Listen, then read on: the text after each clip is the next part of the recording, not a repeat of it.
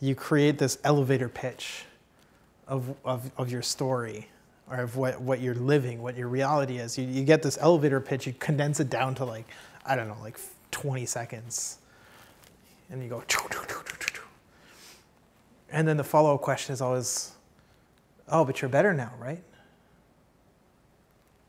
Because they want, they want assurance. They want it, you know, that, that I, it's, it's, it's, cancer is scary, death is scarier to most people. Um, and I can't say that I'm fully not scared of it anymore, but I've kind of accepted it as a reality of life. But you know, to most people, it's not who haven't done that process. It's it's it's incredibly scary. So people like good stories. They don't like scary stories that ends with uncertainty.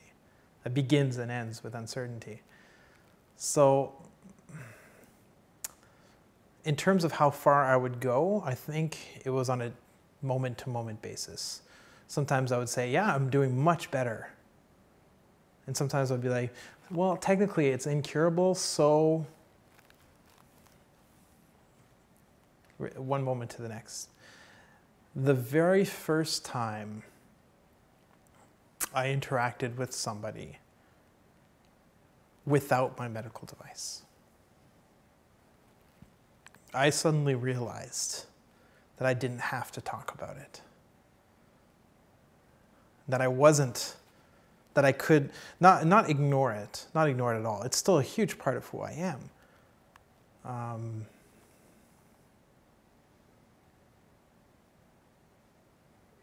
like such a huge part that actually I think I think the first couple of times I still like I still went in into the information. I still went with my elevator pitch and they're just like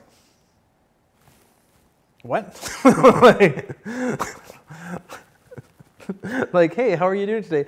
Good. So I have brain cancer. you know, it's just, anyways, after a while I realized that's, wow, I, I don't have to do that. I don't have to give my elevator pitch anymore. That was, that was such a great moment to not have to do that. Um, and so I found myself in a situation where after two and a half years of having of it being the sole focus of, of conversation and really it having completely consumed my identity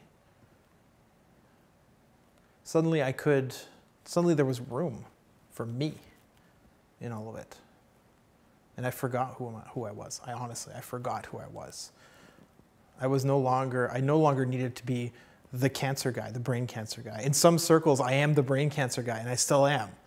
You know, people think of me, they're like, oh yeah, oh yeah, the brain cancer guy. Oh, what happened to that guy? But I'm no longer, I don't need to be that guy anymore.